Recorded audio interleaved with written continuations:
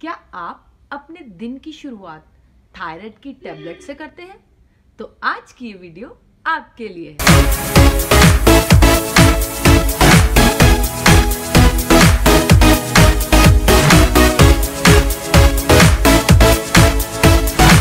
आजकल के busy schedule और अनहेल्दी लाइफस्टाइल की वजह से थायराइड पेशेंट्स बढ़ रहे हैं।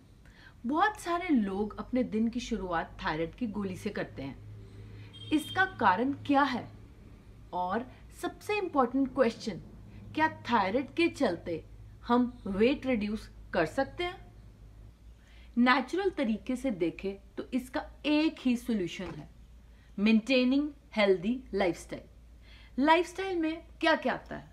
Stress sleep exercise walk and water का इंटेक जो थायराइड टेबलेट आप सुबह खाते हो आपके थायराइड को तो वो ट्रीट कर रहा है बट आपकी बॉडी से विटामिन और मिनरल की एब्जॉर्प्शन नहीं होने दे रहा।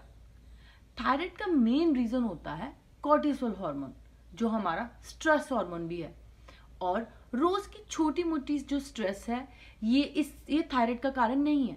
कोई भी चीज़ को लेके जब हम प्रोलॉन्ग्ड स्ट्रेस लंबी देर तक उसी चीज़ को स्ट्रेस करते रहते हैं, वो है इसका मेन कारण।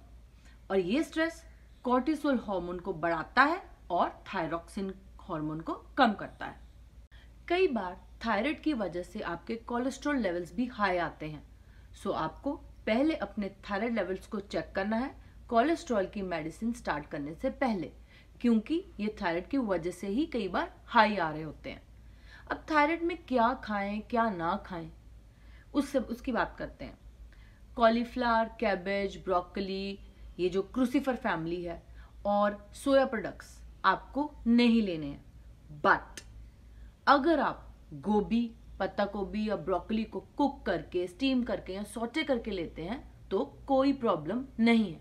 सोया प्रोडक्ट्स की बात करें तो यस इन्हें अवॉइड करना चाहिए। बट ये भी कभी कभी जैसे पंद्रह दिन में एक बार या महीने में दो से तीन बार मॉडरेशन में लिए जाएँ तो भी कोई प्रॉब्लम नहीं है। बट रिफाइंड ऑयल जिनमें सोयाबीन ऑयल कॉर्न ऑयल ये बिल्कुल भी यूज़ नहीं करने हैं। आपको कोकोनट ऑयल ऑलिव ऑयल या मस्टर्ड ऑयल ही यूज़ करना है।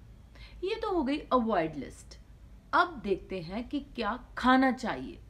इंक्लूड नट्स एंड सीड्स क्योंकि इनमें पाया जाता है सिलेनियम जो कि थायराइड की फंक्शनिंग में हेल्प करता है। पाइनएप्पल में जो एंटीऑक्सीडेंट प्रॉपर्टीज़ हैं, वो भी थायराइड में काफ़ी हेल्पफुल होते हैं तो इसे भी अपनी डाइट में शामिल कर सकते हैं। पालक, जो कि एक सुपर फ़ूड माना जाता है, इसे भी आप अपनी डाइट में ज़रूर शामिल करें। आप इसकी रोटी बना सकते हो, सब्ज़ी बना सकते हो, सूप बना सकते हो, जूस बना सकते हो, स्मूदी बना सकते हो, या इसको आप सिंपल अपनी सैलड में शामिल कर सकते हो। मूंग दाल, टमाटर, आलू, अंडे, पनीर, मशरूम्स ये सब भी थायराइड पेशेंट को अपने डाइट में इंक्लूड करना चाहिए। आप कोरिएंडर सीड्स यानी कि धनिया का पानी भी अपने डाइट में ज़रूर शामिल करें, या आप धनिया की चटनी भी बना के ले सकते हो। ये बहुत ही इफ़ेक्टिव रेमेडी है थायराइड के लिए। थायराइड ऐसा नहीं है कि रिवर्स नहीं हो सकता। अगर आप अपने लाइफस्टाइल को ठीक करेंगे एक्सरसाइज करेंगे, अच्छी नींद लेंगे क्योंकि जब हम सोते हैं तो हमारी बॉडी रिपेयर मोड में जाती है।